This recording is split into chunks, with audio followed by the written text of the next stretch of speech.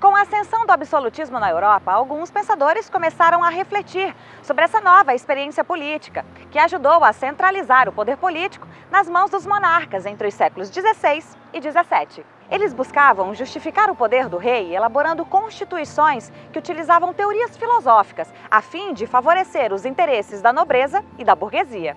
E um dos primeiros filósofos a formular essas novas ideias foi Nicolau Maquiavel. O pensador italiano observou os constantes conflitos entre os reinos espalhados pela Península Itálica e buscou teorias que resolvessem esses problemas.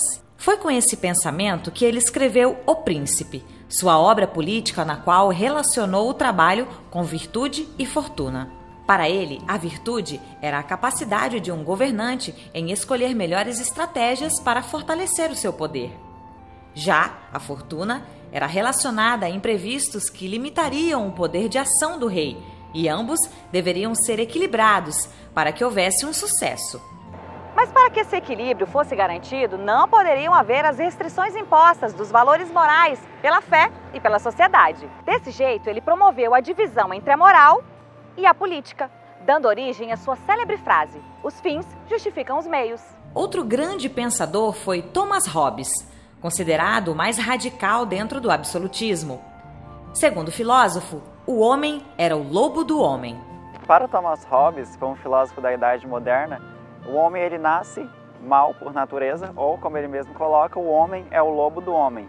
Ou seja, o nosso instinto, quando nós nascemos, né, nós somos, como é conhecido, um animal racional, e o nosso lado animal ele já nasce formado, enquanto o racional ele vai precisar se desenvolver. Então nós nascemos muito mais animais do que racionais. E esse animal, obviamente, seguia pelos instintos. E os instintos humanos, eles são egoísticos, ou seja, o instinto ele vai ser sempre preocupado com o próprio indivíduo.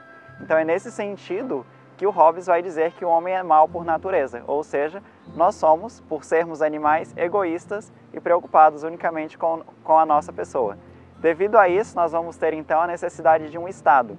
O Hobbes ele trabalha com o Estado soberano, ou seja, nós vamos ter que submeter as nossas leis, as nossas vontades, a uma lei superior que ele chama de Estado. Então, esse Estado vai fazer com que nós nos tornemos bons, ou seja, ele vai nos dar as regras, as leis que nós devemos seguir e assim poder viver em sociedade, em harmonia, como nós é, vivemos enquanto seres sociais. Agora que já sabemos um pouco mais sobre os principais pensadores do absolutismo, vamos continuar a aula aí do estúdio.